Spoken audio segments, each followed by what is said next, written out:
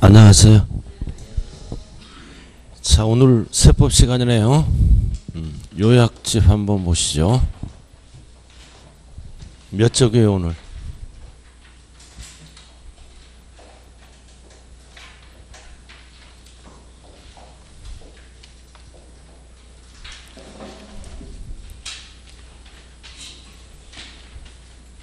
몇 쪽이에요? 항상 어디까지 배웠는지는 알고 계셔야 돼요. 몇 쪽? 아무 데나 할까요? 아니, 배운 데는 알고 계셔야죠. 어디까지 배웠는지. 예? 140. 이 페이지까지 했어요?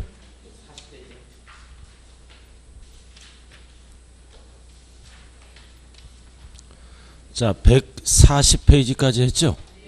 9개까지 했어요. 9개까지. 140페이지까지 했다고요.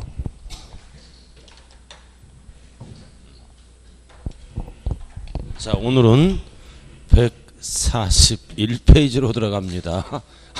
제발 좀 눈치 보지 말아요. 나 괜찮은 사람이에요. 어, 그러니까 즐겁게 수입 수업하자고요. 아, 지난주에 그냥 수업만 하려고 했더니 제가 얼굴이 좀 굳어졌어요. 자, 오늘 본 모습으로 한번 돌아가 볼게요. 어, 어, 하도 답답해가지고, 어? 그러니까 야간은 내 정상대로 했어요. 음, 그냥 오전은 좀 수업만 해보려고 그랬더니 그것도 뜻대로 잘 안 되더라고요. 자, 141쪽. 양도소득세, 비과세. 항상 세법 문제를 풀 때는 과세, 비과세를 구분해야 돼요. 141쪽. 폈어요? 자, 박스. 양도세, 비과세 규정은 세 가지가 있네요. 첫 번째는 파산 선고. 망했죠? 어, 파산 선고가 되면 세금을 비과세한다고요. 그 다음 2번은 뭐다? 농지의 교환분합. 요건이 충족되면 비과세입니다. 그 다음 출제되는 것은 3번이네요. 3번 1세대 1주택 과로 고가주택은 뭐다? 제외 항상 고가주택은 제외 뭔 뜻일까요? 9억 이하는 비과세지만 9억 초과 부분은 과세가 들어가요. 고가주택도 9억까지만 비과세다. 초과는 과세함으로 제외. 자, 그 다음 딸린 토지. 자, 그 다음 미니 강의. 자, 미니 강의네요. 8년 이상 작용한 농지를 팔았다. 농지를 사고 파는 대토는 비과세 규정이 아니라 감면 조항입니다. 감면. 감면과 비과세는 다른 거죠? 어, 비과세는 자동적으로 세금이 없는 거고 감면은 신청해야 돼요. 그다음 농지의 비과세는 교환분합이에요. 그다음 감면은 출제가 안 된다고요. 어, 용어만 알아두면 된다. 감면한다. 자, 그 다음 양가로 1번. 자, 1세대 1주택으로 들어가네요. 1세대가 집이 하나 있네. 1주택. 1주택. 왜 하나는 요건이 충족되면 비과세를 해줄까요? 주거 생활의 안정을 위해서 좁은 집에서 넓은 집으로도 갈 수 있고 넓은 집에서 좁은 집으로 돌아올 수 있죠? 하나 가족 중에 집이 하나 이 하나는 어느 시점에서 따진다? 양도일 현재 취득일 현재 그러면 안 돼요. 양도일 현재 하나면 되는 거예요. 과거에 여러 개를 갖고 있더라도 아무런 관련이 없다. 양도일 네 글자로 뭐라 그래요? 양도일 네 글자로 양도시기 다섯 글자로 대금 청산일 장금 받은 날 네 글자로 뭐라고요? 양도시기 다섯 글자로 뭐라고요? 장금 받은 날 즉 대금 청산일. 자 그래서 양도일 현재 네 가지 요건이 충족돼야죠 박스. 그래서 기억 1세대가 1세대는 거주자만 되는 거예요 비거주자는 안 해줘요. 주거 생활의 안정을 위한 거니까 거주자. 그리고 국내에 하나 하나는 어디에 있는 거다 국내 국외권은 과세합니다 그리고 디귿이 가장 중요하죠 2년 이상 보유. 단 조정 대상 지역이라고 나오면 2년 이상 실거주해야 돼요. 거주가 꼭 붙어야 돼요. 조정 대상 지역은 2년 거주를 해야 됩니다. 등기되고. 자, 그 다음 딸린 토지는 어디까지? 너무 넓으면 안 되죠? 다섯 배, 열 배까지를 한도로 합니다. 도시 지역 안에서는 다섯 배까지만. 밖은 열 배까지. 집은 조그만데 땅이 너무 넓으면 안 되잖아요. 한도가 있습니다. 다섯 배, 열 배. 자, 그 다음 2번. 단 비거주자. 빗자가 붙으면 항상 조심해야 돼요. 그래서 비거주자는 비과세 안 해줘요. 거주자만 해주는 거예요. 거주자만. 그리고 비거주자는 1주택 관련 장기보유 특별공제도 적용되지 않습니다. 비가 붙으면 조심하자. 자, 그 다음 밑에 1세대 요건. 자, 1세대는 밑줄 그은 거. 거주자. 원칙이 뭐를 해야 된다? 배우자. 결혼해야 돼요. 결혼하면 뭐가 태어나? 바풀떼기들이 태어나죠? 가족을 포함합니다. 다시 태어나면 지금 남자랑 결혼하고 싶어요? 안 싶어요? 다시 태어나면 지금 여자랑 결혼하고 싶어 안 해? 죽어도 안 해. 저 같은 경우는. 자, 그 다음 아, 상황에 따라 여자의 87%는 죽어도 안 한대요. 근데 남자는 52%가 설문조사가 나왔어. 반은 그래도 지금 여자가 좋대요. 그러니까 여자는 항상 조심해야 돼. 80%가 넘어요. 지금 남자랑 거의 안 한다는 거야. 이렇게 그 심리 구조가 다르더라고요. 그 여자는 끝이 없어. 만족이 없고 잘못하면 죽을 때까지 끝까지 기억하고 자, 그 다음 박스. 자, 박스는 2번만 알면 돼요. 밑줄 그은 거. 부부가 각각 단독세를 구성했네요. 부부는 항상 뭐다? 동일한 세대. 뭔 뜻이에요? 뭔 뜻? 자, 집이 두 채입니다. 원래 한 채를 비과세하죠. 요건이 충족되면 남자도 집이 있고 남편도 어, 여자 부인도 집이 있다. 그럼 1세대 2주택이죠? 먼저 파는 거는 과세를 합니다. 그죠? 그러니까 세대를 별도 세대를 만든다고요. 그럼 요건이 충족되면 비과세 받죠? 꼼수를 못 부리게 부부는 각각 세대를 구성하더라도 뭐다 언제나 동일한 세대. 동일한 세대, 각각 세대 하면 안 돼요. 그러나 가족이 흩어지면 각각 세대예요. 자녀랑 흩어지면 부부는 흩어지더라도 언제나 동일한 세대다. 그다 일심동체하고 재미있게 살라는 뜻이에요. 그러나 현실은 재미가 없을 수도 있어요. 그냥 사는 거야 자식 때문에. 어, 그런 분들이 대한민국의 한 절반이 넘는데요. 어쩔 수 없이 살아간대. 사회 질서 확립을 위해서. 자, 그 다음. 자, 넘어가자고요. 142쪽. 자, 예외 꼭대기. 자, 배우자가 없더라도 1세대로 보는 경우가 있어요. 요즘은 꼭 결혼 안 하잖아요. 그죠? 신세대는 50%가 뭐다? 결혼은 선택이에요. 선택이라 그럽디다. 배우자가 없더라도 1세대로 본다. 박스. 연령이 몇 세 이상? 30세. 그래서 30세 이상은 세금 혜택을 주는 거예요. 편안하게 혼자 살아라. 1세대로 봐주겠다라는 뜻입니다. 나이가 너무 젊죠, 그죠? 한 50세로 바뀌어야 돼, 법을. 자, 그 다음. 자, 니은. 니은은 별 하나 딱 붙여요. 자, 배우자가 사망. 이혼했네요? 왕년에 있었죠. 왕년에 있었기 때문에 1세대로 봐줘요. 자, 그 다음 세 번째는 뭐다? 소득이 있으면 돼. 법에 의해서. 자, 소득세법에 의한 국민기초생활보장법에 따른 중간소득 몇 프로 이상? 40%. 40%. 중간 소득을 나열해서 40%면 약 100만 원 전후가 되는 거예요. 그럼 나이에 관계없이 1세대로 한다. 단 주의하자. 미성년자는 제외합니다.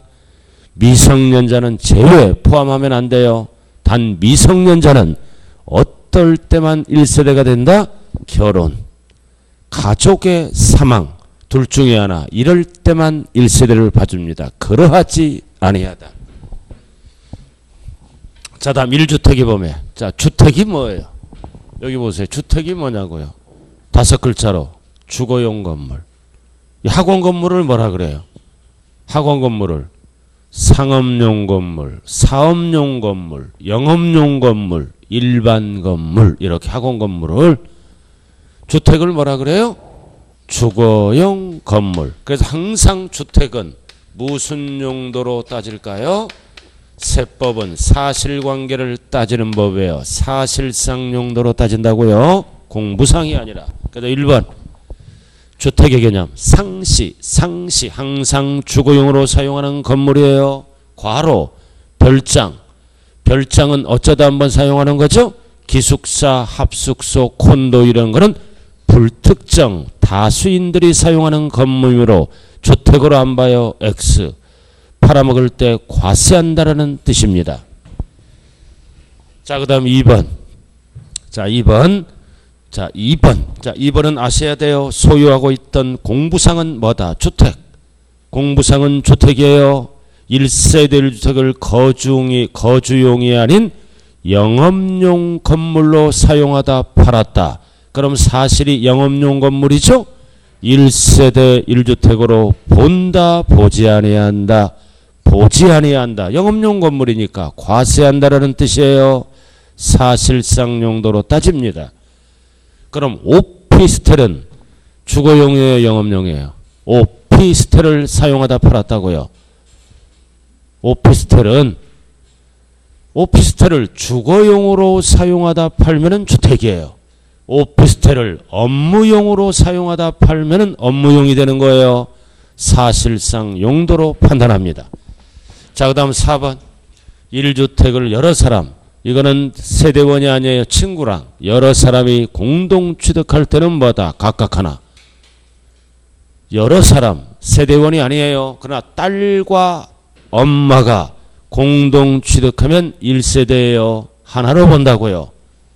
그러나 여러 사람은 같은 세대원이 아니라 다른 사람과 각각 하나.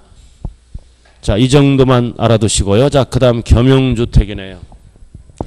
자, 집이 하나인데 무슨 주택이 있어요? 겸용.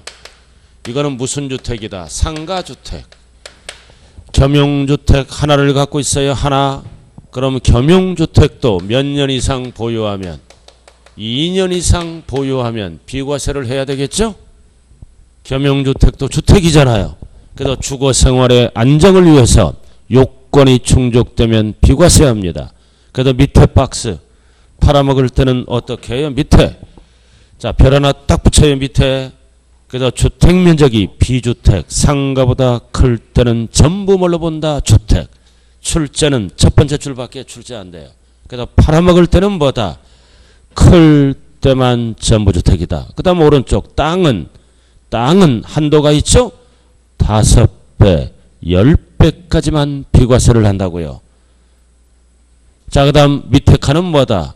주택 면적이 비주택 면적보다 같거나 작을 때는 뭐다? 따로따로 봐.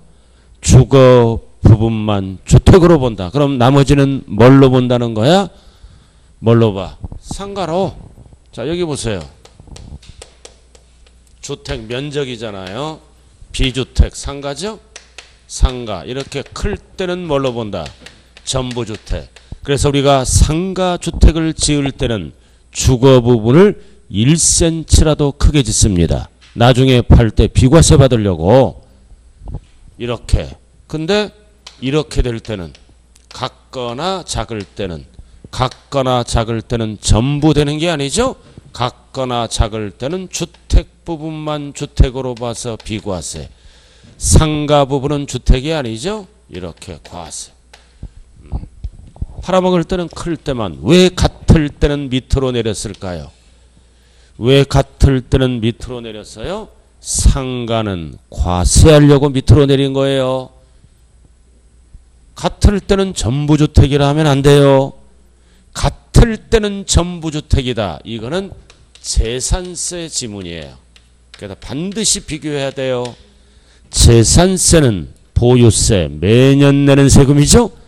세금 혜택을 주기 위해서 재산세는 크거나 같을 때는 전부 주택으로 본다. 몇 프로 이상이라고 배웠나요? 50% 이상. 크거나 같을 때. 보유할 때는 같을 클 때도 전부 주택으로 봐요. 상가보다는 세금을 덜 겠겠다 이거지. 그러나 팔아먹을 때는 투기 목적이죠. 양도세는 투기 목적이지만 클 때만 전부주택이다. 같거나 작을 때는 따로따로 봅니다. 자 용어 정리해요. 자 그 다음 오른쪽으로 가자고요. 자 이번에는 무슨 주택이다? 고가주택. 그리고 세법은 절대로 계산에 신경 쓰면 안 돼요. 그냥 법 이론에 신경을 쓰라고요. 법 이론에. 자 이번에는 집이 하나인데 무슨 주택이다? 고가주택. 집이 하나다. 고가. 그럼 이것도 주택이네. 주택이니까 주거생활 안정을 위해서 비과세를 해줘야 되겠죠? 그럼 고가주택의 정의가 뭐다? 꼭대기. 9억 원을 초과하는 모든 주택이 고가주택입니다. 9억 원 초과. 그럼 세금은 어떻게 과세하느냐? 9억 이하는 비과세. 9억 초과 부분만 과세가 들어간다고요. 시험은 어떻게 나와요? 전부 비과세. 전부 과세 틀려요. 자 그럼 이거는 좀 계산을 할 필요가 있어요. 3번. 집이 하나인데 고가주택이네요. 그럼 기억은 별 하나 딱 붙여요. 고가주택에 대한 양도 차익을 계산하시오 이거. 고가주택. 자 그럼 칠판 한번 보자고요. 자 실지거래가액. 실지거래가액이 10억이네. 10억. 자, 이해를 얻기 위해서 지출한 필요경비. 필요경비가 8억입니다. 비과세 요건이 충족됐다 가정하죠? 1주 택이고 2년 보유하고 그럼 뭐를 물어봐요? 고가주택에 대한 양도 차익을 구하시오. 이렇게. 그래서 거기 여러분들 보면은 공식이 나왔잖아요. 고가주택에 대한 양도 차익은 기억 전체 양도 차익 곱하기 양도 가액분의 양도 가액 마이너스 뭐다 9억 9억을 빼면은 고가주택에 대한 양도 차익이 나온다는 뜻이네요. 식이잖아. 그 계산 두 번 해야 돼요. 전체 양도 차익에다가 9억 초과를 별도로 띄어내야 된다고요. 식 보셨어요? 자, 그럼 계산해 보자고요. 자, 이거 식 양도가액이 10억이죠? 8억을 빼. 8억을 빼면은 전체 양도 차익이 얼마 나와? 2억. 이게 전체 양도 차익이에요. 근데 뭐를 구하라 그랬어요? 고가 주택에 대한 양도 차익. 그럼 대입만 시키면 되죠? 대입만. 그래서 양 식이 뭐다? 양도 가액분의 양도 가액 마이너스 9억. 그럼 10억이네. 10억 분의 10억. 마이너스 9억을 빼면 초과가 나오지, 나오겠죠? 즉 이 얘기는 무슨 뜻이다? 10억 중에 9억은 비과세, 1억만 과세한다는 뜻이에요. 10억 중에 9억은 비과세, 10억 중에 1억만 과세한다고요. 10분의 1억만. 똑같은 거죠? 그럼 얼마가 나와? 2천만 원 10분의 1이니까 이건 계산도 아니에요. 이게 고가 주택에 대한 양도 차익이라고요. 그러니까 두 번 계산하는 거요. 이거 양도가액 양필이 빼면 이거 그다음 9억을 별도로 계산해야 한다고요. 초과되는 부분을 자 기본서 한번 봐요. 다시 한번 기본서로 확인합니다. 359페이지 기본서 359쪽 대표 여제 나왔네. 자, 뭐 옛날 우리 다 풀어봤어. 아마 다시 한번 풀어보는 거예요. 359쪽. 예제 문제 나와 있잖아요. 대표 예제 한번 풀어보세요. 359페이지.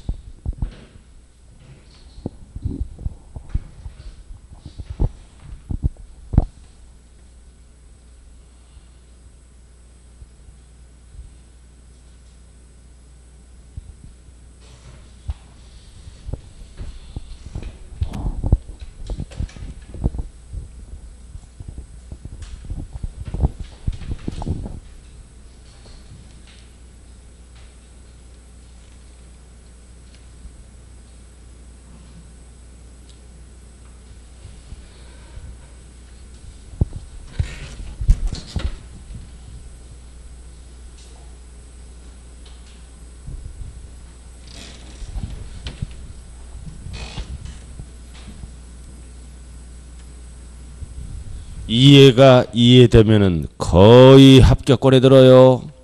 거의 합격권에 들어. 얼마에 팔았어요? 12억. 9억 넘어가니까 고가주택이죠? 그럼 12억에서 총 필요경비를 뺍니다. 필요경비를 빼는 거요. 총 얼마? 8억. 똑같네. 그럼 얼마가 나와? 4억.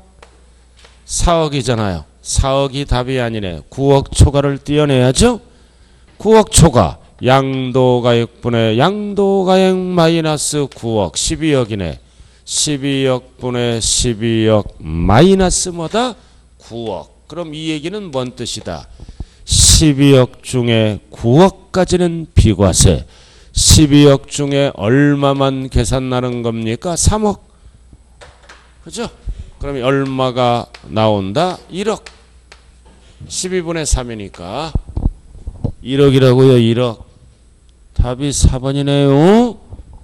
이렇게 식을 적어 놓고 계산 못하면 제 책임이 아니에요. 음. 계산은 신경 쓰지 마. 근데 이거는 계산도 아니에요. 알아들었나요?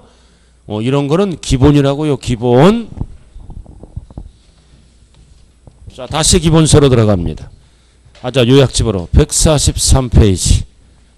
143페이지. 이번에는 집이 하나인데 무슨 주택을 갖고 있다? 다 가구. 다 가구. 원룸, 원, 원룸, 투룸, 쓰리룸. 다 가구 주택을 양도했네. 143쪽. 그럼 다 가구는 법조문이 1번, 2번 두 가지가 있어요. 143쪽. 다 가구잖아. 원룸, 투룸 이런 거. 그럼 1번 어떻게 팔았어요? 가구별로 각각 팔았네. 용도 변경해서. 각 각 팔 때는 뒤에 지문도 뭐다? 각각 하나. 그럼 1번은 공동으로 봐요? 단독으로 봐요? 여러 개. 공동주택으로 본다는 뜻이에요. 각각 여러 개. 그러니까 과세. 자, 그 다음 2번은 어떻게 팔았어요? 가구별로 분양하지 않고 다고처럼 하나. 하나로 통매했잖아. 어, 하나로 통매하니까 결국 하나로 본다. 단독으로 본다. 이 1번은 공동주택으로 보는 거예요. 여러 개, 여러 개. 2번은 하나로 보니까 단독주택으로 본다. 그럼 단독주택을 길게 어떻게 얘기합니까? 전체를 하나의 주택 이렇게 딱 적어요. 단독주택을 길게 얘기해요. 전체를 하나의 주택으로 본다고요. 즉 단독으로 본다는 얘기예요. 전체를 하나의 주택으로 본다. 단독주택으로 본다. 똑같은 지문. 그래서 각각 팔면 각각 하나.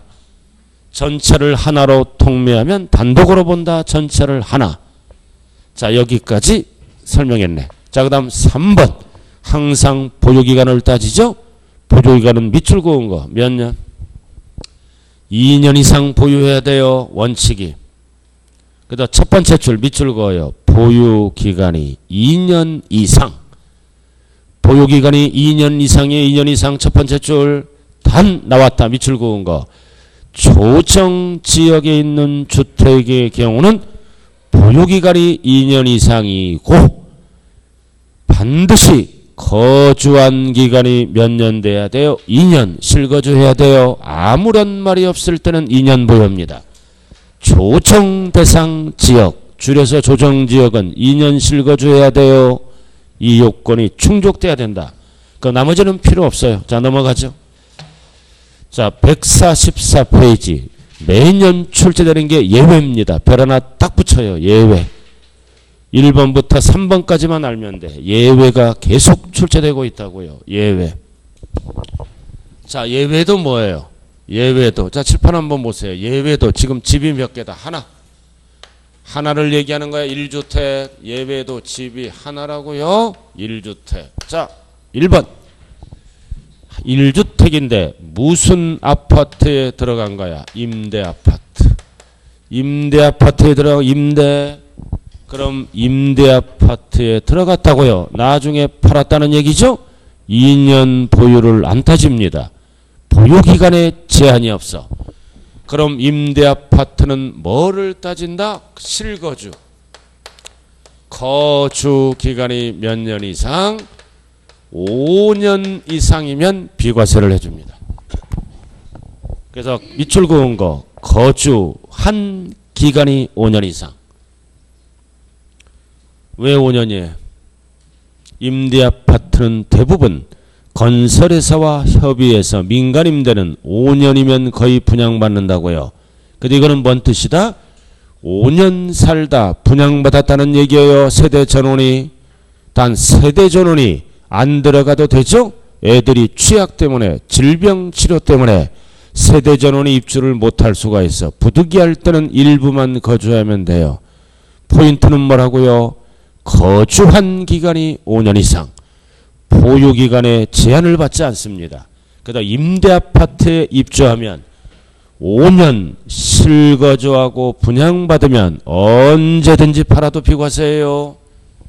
근데 이것도 하나의 뭐다? 서민들은 재테크 수잔이죠? 제 신혼 때 여기 들어갔어요. 제가 월세 살다가. 월세 살았어요. 저도. 월세 살다 보니까 지하에서 살다 보니까 그 아주 못 살겠더라고. 그래갖고 딱 큰 길거리를 가는데 임대 아파트 분양 공고가 나왔어. 그래서 일단은 떨어졌어. 1순위가 안 돼서. 그 2순위는 미분양이 됐더라고요. 그 미분양에 저 당첨을 했어요. 그때 5년 살다 보니까 분양가가 1억 300에 분양받아 1억 300, 33평짜리. 근데 그거를 2억 5천에 팔았다고요. 그래갖고 왜 보증금도 없어. 그러니까 은행에서 대출을 해줬어요 그때 50%인가 뭐 70%까지 보증금 대출. 그러니까 월세 쭉 내다가 그죠? 은행 이자율로보다 상당히 높은 재테크죠? 어, 그게 이제 시발점이 된 거예요. 그러니까 머리를 잘 써야 돼요. 그러니까 임대 아파트라고 우습게 보면 안 돼요. 그 서민들은 재테크 수단이 될 수가 없어요. 입지가 좋아야 돼. 그죠? 입지. 자, 그럼 1번 보라고요. 자, 1번 보면은 그럼 5년 거주는 언제부터 따지나요? 밑줄 그은 거 임차일. 취득이 하면 큰일 나요. 이거는 월세 내는 거니까 임차일. 취득일은 잔금이 끝난 상태를 얘기해요. 임차일. 취득이라면 큰일 나는 거예요. 자, 그 다음 2번. 자, 2번으로 들어가네요. 그럼 2번은 이거 뭔 뜻이에요? 2번은 1주택이 칠판 봐요. 뭐 됐다? 수용. 1주택이 수용당했어요. 수용. 그러면 2년 보유 안 따져. 뭐를 따져? 거기 가번에 사업인정 고시일 전에 취득해야 돼요. 후 하면 안 돼요. 전에. 1주택이 수용당했다고요. 그럼 수용당하는 주택은 언제까지 취득한다? 전에. 자, 그럼 여기 봐요. 이제. 근데 수용당했는데 전부 수용당하지 않고 일부가 수용당하죠? 그럼 뭐가 남아 있어요? 잔존주택. 그래서 잔존주택은 팔기가 힘드네요. 힘드니까 3년을 주는 게 아니라 몇 년 이내에 팔면 비과세다? 5년 이내. 그래서 2번이 5년 이내 향도하면 잔존주택도 비과세하겠다. 미출구 뭐 5년. 3년 하면 안 돼요. 팔기가 힘들기 때문에. 자, 그 다음 나와 다는 묶어요. 똑같은 겁니다. 나와 다. 나와 다는 나는 뭐다? 해외 이주. 어떻게 가야 돼? 세대 전원. 다는 어떻게 해야 돼? 1년 이상 계속해서 국외 거주를 해야 돼요. 왜 국외 거주를 해야 돼요? 취약, 근무상 때문에. 그럼 나와 다는 요건이 뭐다? 세대 전원이 출국해야 돼요. 기러기가 되면 안 된다. 자, 그럼 여기 보세요. 자, 해외 이민 가잖아. 이주. 어떻게 가야 돼요? 세대 전원이 가 돼 이제 팔아먹어야죠. 팔아먹을 때는 3년 안 줘, 이거는. 3년 안 줘요. 지금 이 상태는 어떤 상태예요? 거주자가 비거주자가 됐죠? 원래 비거주자는 세금이 없, 없어요. 혜택이 없어. 근데 얘는 왕년에 거주자였잖아. 그러니까 빨리 팔아야 돼. 그래서 출국일로부터 3년을 안 주고 몇 년 준다고요? 2년을 주잖아요. 3년 하면 안 돼요. 2년. 2년. 그 답원도 뭐다? 2년. 그럼 답원을 기억하면은 유수에 누가 기억나요? 김은국이. 기억나잖아요. 어, 오랫동안 혼자 살았어요. 오랫동안. 그 요즘 미투에 걸렸죠? 그리고 또 뭐다? 폭행죄로 지금 곡저 경찰서에 신고가 돼 있대요. 참 그냥 혼자 살다 보니까 그런 게 나타나는 거야. 혼자 살면 대화가 안 돼요. 고집만 세죠. 우리 친구가 강남에 혼자 살잖아. 혼자 살아. 어, 아주 대화가 안 되더라고. 음. 그래서 오랜만에 만나서 집에 들어가니까 반겨주는 사람은 없더라고. 누가 반겨줘? 바퀴벌레가. 탁 문을 여는데 슉 지나가. 그 인사하는 거야. 그 다음부터는 죽어도 안 가. 아 진짜 문을 탁 열었더니 바퀴벌레가 슉 이렇게 하는 거야. 얼마나 청소를 안 했으면. 그래서 남자는 혼자 살면 이가 서말, 서말이고 여자는 혼자 살면 은이 서말이라는 얘기도 있다고요. 음, 그래서 웬만하면 같이 살아야 돼요. 자, 그래서 2년이라고요. 2년. 기억이 안 날 때는 어떻게 하라고 그랬어요, 이거. 2년아 출국 그만해라. 2년. 출국, 2년아 출국 그만해라. 같이 살아보자. 2년. 2년. 절대 숫자는 느낌으로 가는 거예요. 2년아 출국 그만해라. 시험은 3년. 틀린 거예요. 자, 이렇게 해서. 자, 그 다음 3번. 자, 밑에 3번은 옆에 적어. 이거는 어떤 사유냐. 1주택자가 다른 시군으로 이사 가는 겁니다. 다른 시군으로 이사 가는 거야. 3번 옆에 적으라고요. 다른 시군으로 이사 갑니다. 그럼 이사 원인이 뭐다? 세 가지가 있죠? 취약, 근무상, 근무상에 밑줄 그어요. 근무상. 그러나 사업상은 안 돼요. 2년 보유해야 돼요. 근무상, 질병치료 또는 뭐다? 학교폭력. 학교폭력 이사 갑니다. 가해자예요? 피해자예요? 학교폭력은. 누가 이사 가는 거예요? 피해자가 이사 가는 거예요. 피해자가 피해자가 가는 거라고요. 피해자가 자 그럴 때는 어떻게 한다? 요건이 1년 이상 거주 1년 이상 거주해야 된다는 거예요. 실거주 1년 이상 거주할 때는 2년 보유 관계없이 뭐가 있다는 거예요? 비과세를 해 주겠다라는 뜻이네요. 자, 칠판 보세요. 그 숫자 잘 봐요. 임대 아파트에 입주했다. 5년 수용당했다. 일부가 수용당하면 잔존주택도 5년이에요. 5년 5년. 해외로 이민 갔다 등은 뭐다? 2년 2년이에요. 다른 시군으로 이사 갈 때는 1년 이상 실거주를 해야 돼요. 그럼 공통사항은 뭐다? 공통사항은 보유 기간을 따진다 안 따진다 안 따진다 보유 기간에 제한을 받지 않는 주택이에요. 잠깐 보유란 말이 나오면 무조건 틀린 지문이다. 자 기본서를 통해서 다시 한번 확인해 보죠. 390페이지 기본서 390페이지 20번 한번 풀어보세요. 20번 음, 안 배웠지만은 기본에 충실하면 답은 보여요. 390 페이지 20번.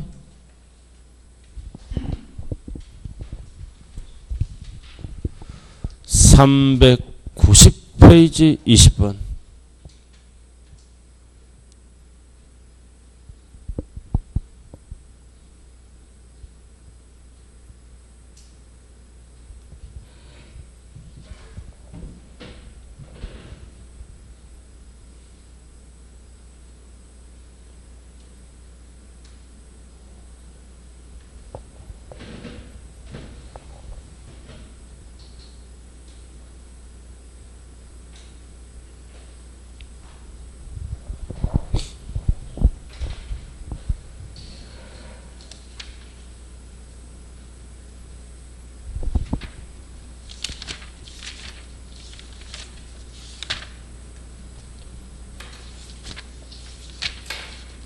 자, 390페이지 봤어요? 음. 1번 출발이 뭐다? 임차일.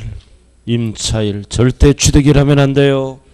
거주 기간이 5년. 임차일을 꼭 확인해요.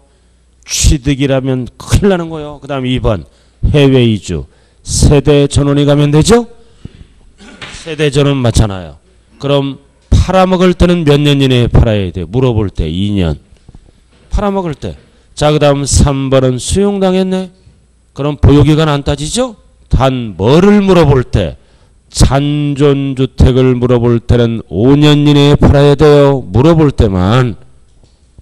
자, 그 다음 4번은 통과. 그럼 답은 5번이네. 이거 다른 시로 이사 가는 거죠? 다른 시로 이사 가는데 1년간 뭐다? 거주. 보유 틀렸네. 1년간 거주해야 돼. 거주.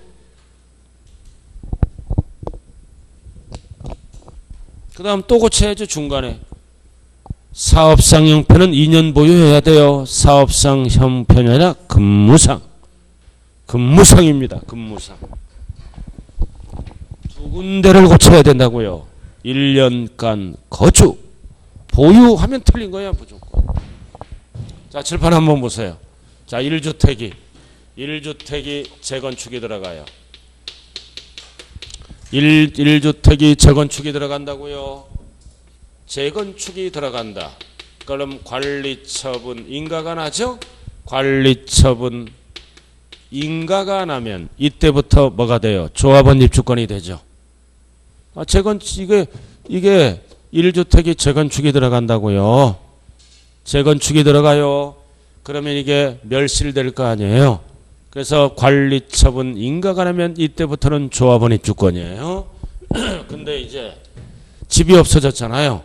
집이 없어지죠? 그다 잠시 무슨 주택을 취득할 수 있어? 대체 주택. 잠시 대체 주택 취득할 수 있잖아요. 집이 없어졌으니까.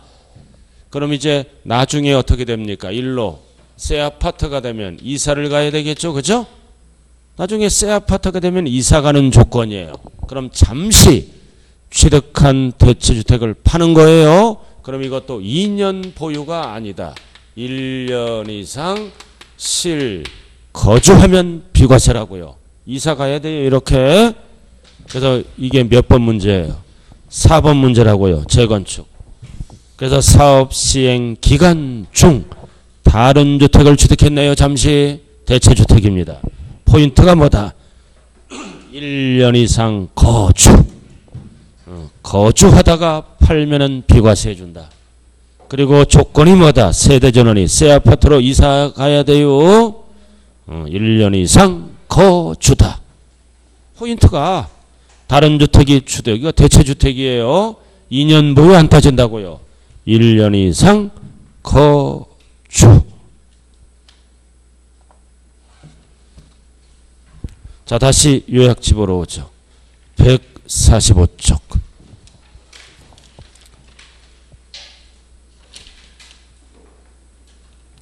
145쪽 봤어요? 음. 자, 4번 별 하나 딱 붙이고 4번 1세대 1주택에 대한 비과세 이거 특례주택입니다. 지금부터 특례주택이에요. 무슨 말이에요? 지금부터는 집이 두 채라고요. 두 채인데 한 채로 보는 주택을 세법에서는 1세대 1주택 특례주택이라고 얘기하는 거요. 자 여기 보자고요. 원칙이 뭐다? 이렇게 두 개 있으면 원칙은 뭐다 항상 먼저 파는 거는 과세를 합니다. 나중에 파는 거를 요건이 충족되면 비과세를 내주겠죠? 원칙이 그렇잖아요. 먼저 파는 거는 과세, 나중에 파는 거는 비과세.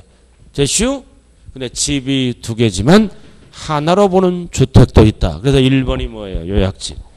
거주 이전을 위한 일시적인 주택. 집이 두 개예요. 자, 잘 봐요. 자, 앞에 어떤 주택, 종전주택을 갖고 있어요. 여유 자금이 있어서 다른 주택을 취득해서 주택수가 몇 개가 됐나요? 두 개. 두 개가 된 거예요. 두 개가. 그러면은 요건이 충족돼야죠? 이 다른 주택은 반드시 뭐다? 1년 이상 지난 후 취득해야 돼요. 막 사면 안 돼요. 지난 후. 1년 지나서 취득해야 돼. 특례주택으로 가려면 이제 팔아야죠. 팔아먹을 때는 파는 기간을 원칙이 몇 년 줘? 3년 주는 거예요. 그래서 몇 년 이내? 3년 이내에 앞에 거를 팔아야 돼. 앞에 거를 뒤에 거를 팔면 안 돼. 항상 앞에 거를. 그래서 종전주택을 팔면은 어떻게 보겠다? 법은 두 개지만 1세대 1주택으로 본다. 본다. 그래서 봐서 요건이 충족되면 뭐를 해주겠다? 비과세를 해주겠다라는 뜻입니다. 그래서 그 얘기잖아요. 밑을 그은 거. 1년 이상 지난 후 다른 주택을 사라. 팔아먹을 때는 3년인데 앞에 거를 먼저 팔아야 돼요.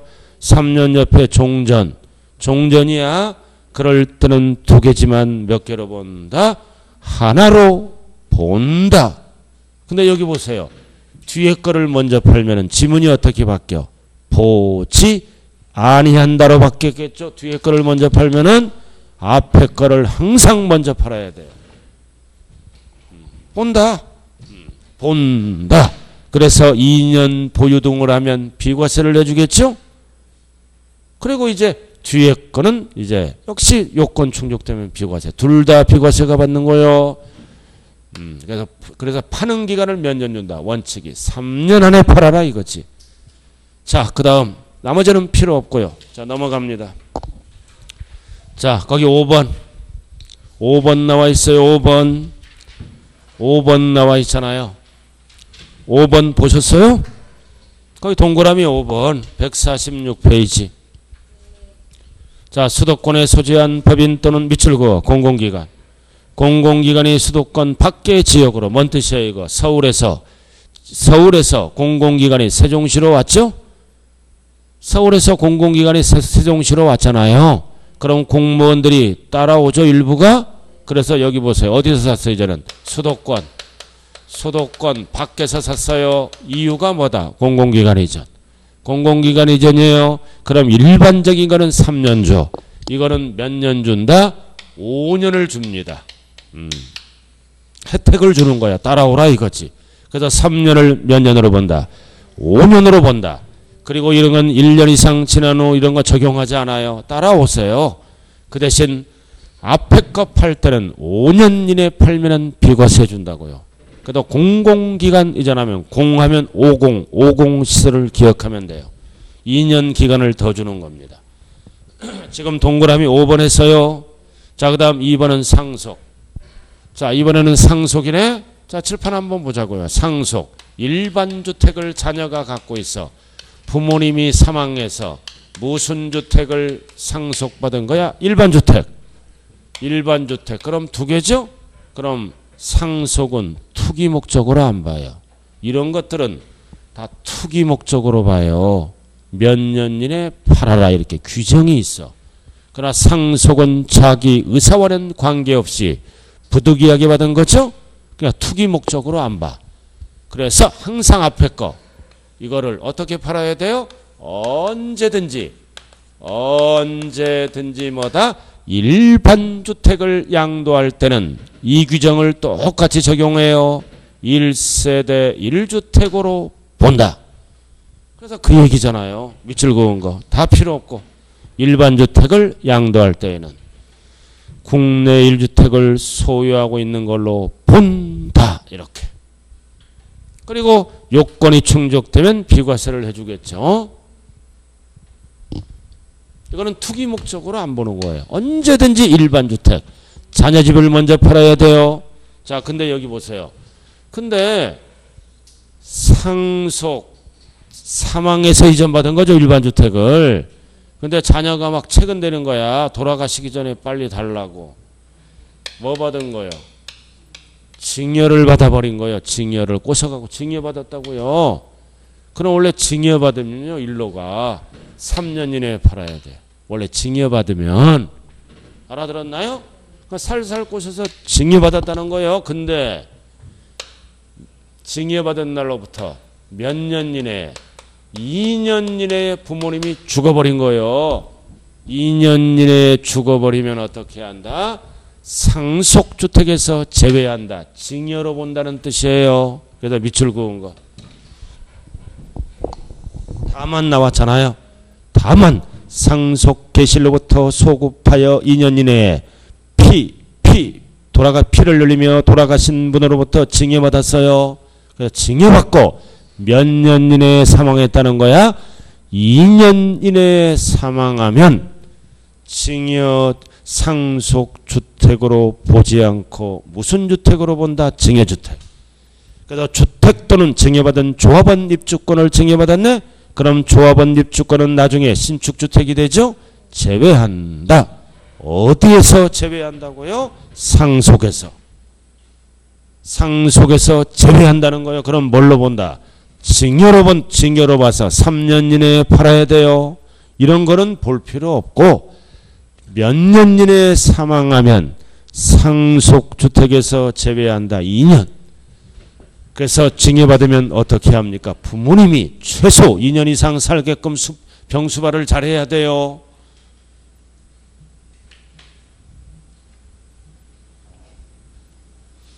자, 그 다음 꼭대기 오른쪽 꼭대기 2주 2 이상의 꼭대기 주택이 상속된 경우 하나 판정 조상을 잘 만나서 상속주택을 여러 개 받았죠? 조상을 잘 만나서 여러 개 상속주택을 받더라도 법은 하나만 비과세해줘야 하나만 그럼 여러 개를 받았을 때 하나 순서를 정해야죠? 1주택의 판정은 첫 번째 뭐다?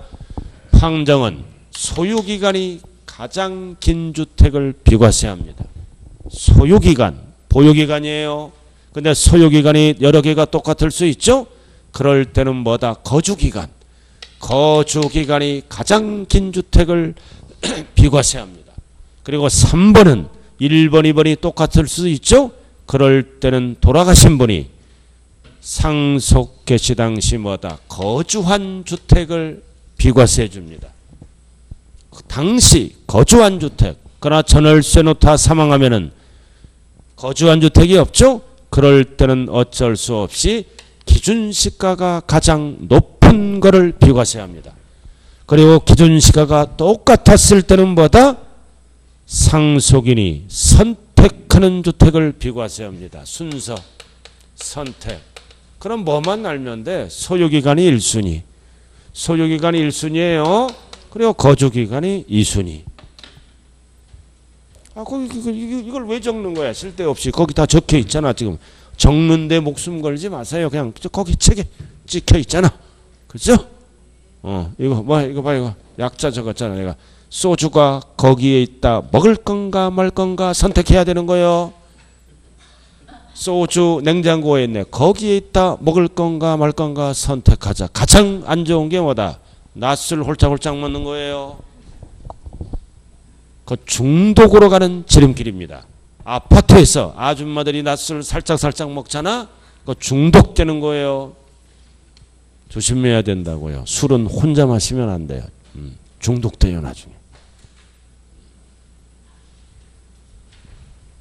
이거 순서 어, 소주 거기 선택하라 이것이. 자, 그 다음 3번. 자, 3번 봐시오. 자, 3번이 뭐다? 직계 전속 동거복량. 동거복량이네. 자, 얘기 한번 볼까요? 자녀도 집이 있다.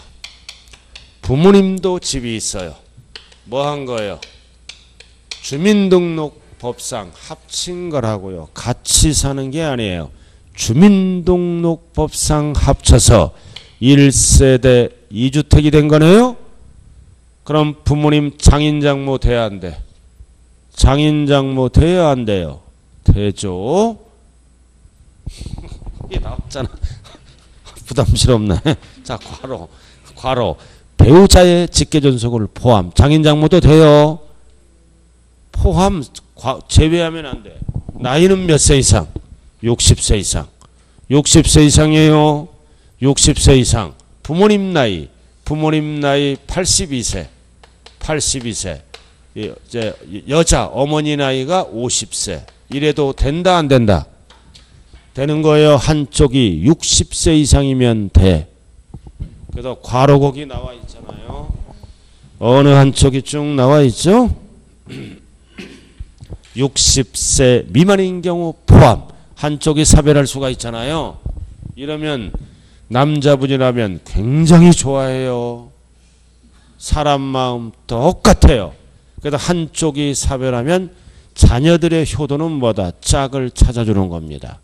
진짜요. 그래서 부모님들이 자식 눈치 보느라고 같이 살고 싶어도 못하는 경우가 많대요. 단 조심할 게 있죠. 이런 경우라면 재산이 많으면 자녀에게 분배를 하고 살아야 돼요. 꽉 쥐고 젊은 여자가 들어왔다 난리 나요. 어. 음. 이렇게 자 이제 팔아야지 이제 그럼 팔 때는 이거 법 바뀌었다고 그랬죠? 5년이 아니라 몇 년? 10년이에요 10년. 10년 이내에 반드시 옆에 뭐가 붙어? 먼저. 먼저 파는 거를 하나로 봅니다. 10년 옆에 먼저.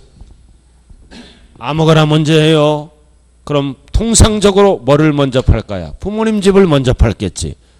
그럼 뭘로 본다?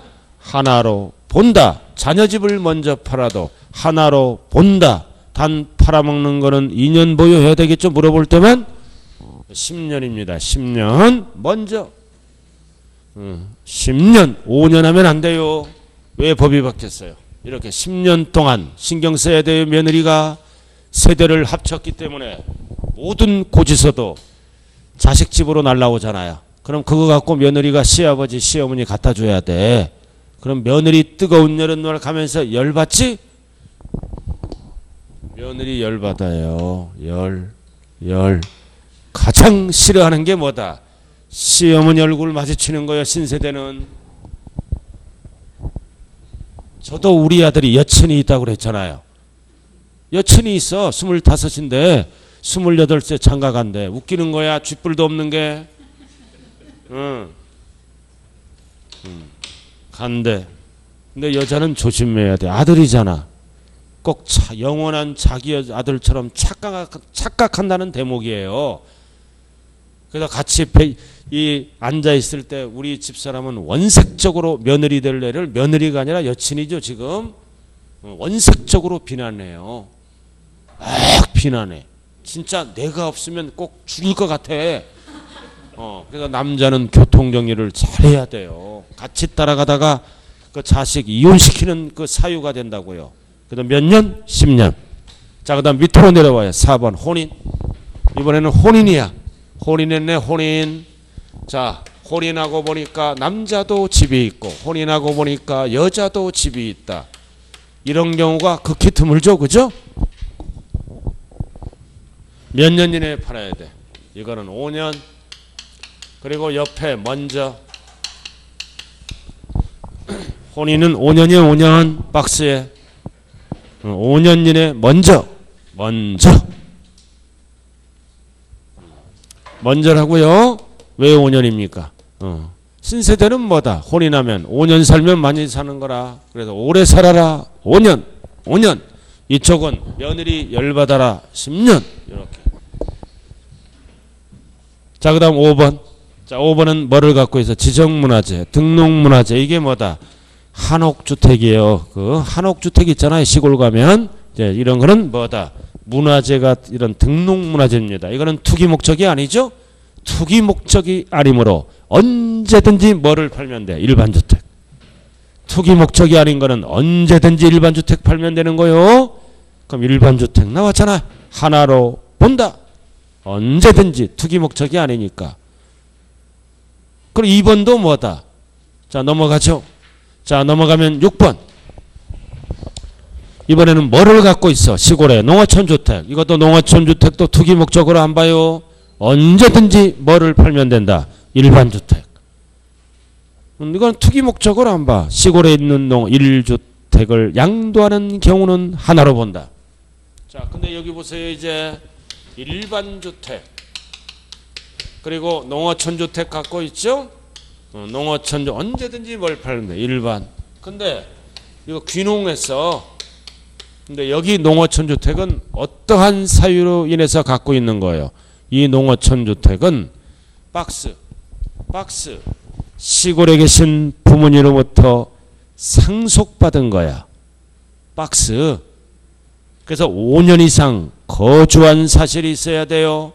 두 번째는 시골이 싫어. 이농하면서 농어촌 주택을 갖고 있는 상태예요. 단 5년 이상 실거주한 사실이 있어야 돼요. 상속받아서 뭐를 상속받은 거야? 농어촌 주택. 인웅은 뭐를 남겨두고 인웅한 거야? 농어촌 주택. 자, 그럼 여기 보세요. 요건이 충족되면 언제든지 뭐를 팔면 된다? 일반 주택. 자, 근데 여기 봐요. 귀농이야. 귀농은 돈 주고 산 거예요, 시골에. 그럼 귀농하면은 투기할 수가 있어요. 집값이 올라서. 그래서 귀농주택은 투기할 수 있으므로 몇 년 이내에 팔아야 된다. 일반 주택을 5년 이내에 팔아야 된다. 그래서 세 번째, 다만 귀농주택은 어떻게 팔아야 돼요? 5년 이내에 일반 주택을 팔아야 돼. 세 번째 줄 5년 나왔잖아요. 꼭대기. 찾았어요? 어, 투기 관리를 위해서. 자, 그 다음 밑에 7번. 쭉 내려와요. 7번. 이번에는 뭐다? 실수의 목적으로 취득한 수도권 박. 수도권 박. 자, 칠판 보자고요. 뭔 뜻이에요? 자, 일반 주택이 하나가 있어. 어디 가서 집 샀어? 수도권 박. 지방 가서. 수도권 박 두 개네. 왜 샀어요, 집을? 이유가 뭐다? 근무상, 질병, 취약 이런 것 때문에. 실수요 거주 목적으로 세 가지. 자, 그럼 여기 보세요. 그럼 이것도 어떻게 팔아야 돼? 항상 3년 주는 거예요. 3년 이내에 팔아야 돼. 3년 일반 주택. 항상 앞에 거를. 항상 기본이 3년 주는 거라고요. 3년 이내 일반 주택. 근데 그냥 3년이 아니에요. 여기서는 앞에 뭐가 붙어야 돼? 부득이한 사유가 해소된 날로부터 3년이에요. 졸업하면 졸업일로부터 3년. 병치료가 끝나면 병치료 끝나는 날부터 3년이라고요. 투기할 수가 있어요. 자, 그 다음 오른쪽. 가정 어린이집. 자, 8번 가정 어린이집 나와 있죠? 가정 어린이집 나와 있잖아요. 자, 그럼 두 개다. 그럼 가정 어린이집은 교육 목적이죠? 투기 목적이 아니야. 그럼 똑같아 원리는 언제든지 뭐를 팔면 돼. 일반 주택. 언제든지 일반 주택 팔면 돼. 교육 목적이니까. 자, 나머지는 필요 없어요. 자, 그 다음 9번. 9번까지만 하는 거예요. 9번. 자, 칠판 봐요. 집이 두 개다. 원칙은 여기 보세요. 집이 두 개잖아. 먼저 파는 거 과세하죠? 나중에 거를 비과세죠. 요건이 충족되면. 근데 이해를 취득하고 몇 년 이내에 팔아야 돼? 3년. 3년 이내에 팔아야죠. 3년이 지났어. 그럼 과세잖아. 아, 3년이 지나서 팔면 앞에 것도 과세하잖아요. 그러니까 뭐를 하는 거야? 임대를 합니다. 임대 사업해요. 임대 사업한다고요. 하나는 그리고 하나는 내가 살아 거주. 그래서 법은 임대 사업하면 투기 목적으로 안 봐요.